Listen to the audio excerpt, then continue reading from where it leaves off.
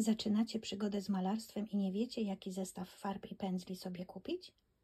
Będziecie potrzebować pędzle syntetyczne, płaski duży, płaski troszeczkę mniejszy, pędzelek skośny, wachlarzyk i dwa pędzelki z cieniutkimi włoskami oraz pędzle szczeciniaki, wachlarzyk, płaski i taki bardzo, bardzo malutki pędzelek, dwie szpachelki, dużą i małą oraz farby akrylowe.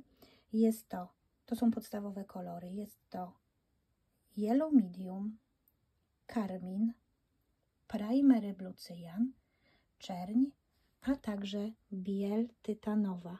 Możecie też sobie dokupić zieleń soczystą. Z wszystkich tych kolorów można uzyskać wiele innych barw. Zapraszam Was na film o mieszaniu kolorów.